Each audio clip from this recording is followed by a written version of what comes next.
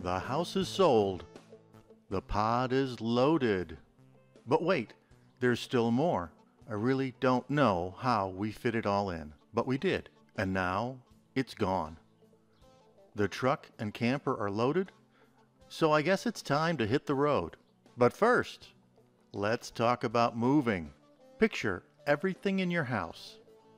Imagine taking two thirds of everything you own and getting rid of it. Now take that remaining one third and pack it into a cargo container that's 16 feet by 8 feet by 8 foot tall. It really makes you evaluate if you own these objects or if these objects own you. Now, take everything you think you'll need for living on the road for three months and pack that into a camper trailer. What would you take that you couldn't live without for three months? Well, meet my new guitar. It's a small body, half acoustic, half electric, Guild 2655 in Fairlane Blue. If you lived in the 60s or 70s, you recognize this color. It's just like my dad's 1963 Ford station wagon.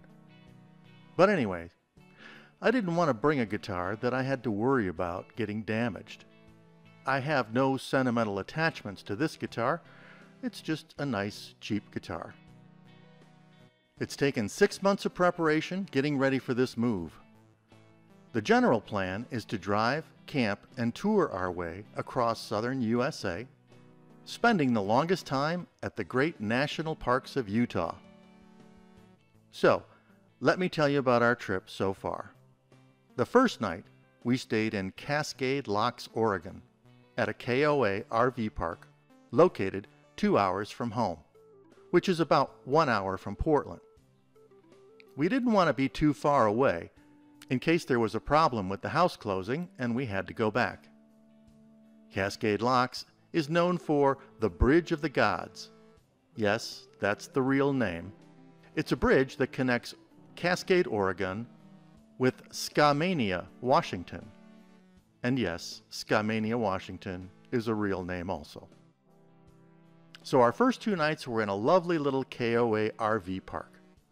Lovely, except for the trains that ran in back of the park all night long, every hour, blowing their horns. Amazingly, Cheryl didn't hear them the first night. That gives you an idea of how stressful all the preparation was, if she could sleep through multiple trains. Next, we're on our way to Caldwell RV Park in Caldwell, Idaho, just north of Boise, Idaho, for a one night stay. With several gas stops and a lunch stop along the way, it took about six and a half hours to get there. We didn't even unhook the camper, so we could easily leave at first light. But this park provided some interesting experiences with the local peacock. It seems they leave something that looked like dog food on the ground right by our camper space. I almost had him eating out of my hand, but we clucked at each other for a while and he stayed for a couple of hours. It was fun. Well, that's enough for now. Stop back for our next installment when we invade Utah. I'll have some great stuff to show you. Thanks for taking the time to watch.